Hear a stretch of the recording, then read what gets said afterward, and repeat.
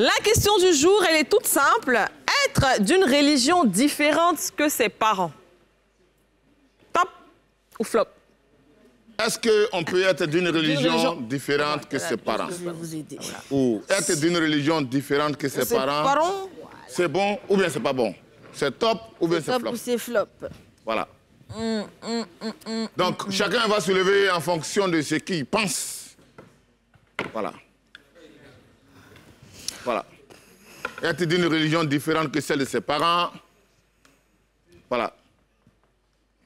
Bon, mes invités ont mis flop.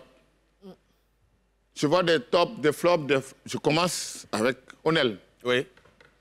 Ce n'est Pourquoi? pas bon d'être une- d'une religion différente que ses parents, parce que la base de l'éducation commence à la maison, par papa et maman. On, réussit, on aura réussi son parcours de la vie quand l'enfant dit « je veux ressembler à mon papa un jour ». Mais quand ton enfant dit « je peux tout faire sauf ce que mon papa fait », c'est que tu as raté ton existence sur la terre.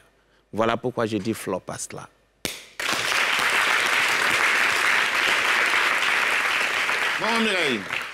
Je rejoins le grand frère Onel Mala, parce que pour moi, la base, euh, déjà, c'est la famille. Et il est important qu'une famille partage idéalement la même vision.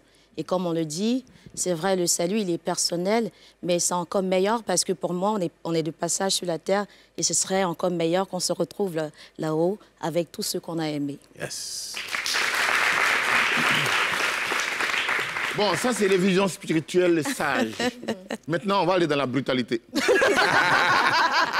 oh tu as mis top. Pourquoi Ah, non, moi je suis quand même un peu d'accord avec eux. Mais au-delà de ça, je pense que la, la religion, c'est quelque chose de personnel. Les croyances sont personnelles. Tu peux grandir avec la religion de tes parents et plus tard rencontrer euh, le, Autre chose. autre chose qui te parle plus à toi. Donc ce n'est pas parce que ton papa a fait ça ou tes parents ont fait ça que tu vas forcément le suivre. Si tu ne, tu ne crois pas en ce que ton papa fait, tu as le droit, parce que ça sert à rien de, de faire semblant d'être dans la même religion que ton père ou ta, ta, ta mère et que en, en vérité tu n'y crois pas forcément. ouais. Donc je pense pas que ce soit une obligation. L'idéal serait de l'être, mais en même temps, on va pas forcer les gens. Chacun fait ce qu'il veut. C'est pareil comme en amour et tout ça. son Donc choix, euh, ouais. chacun son choix. Ok, je vous avais dit.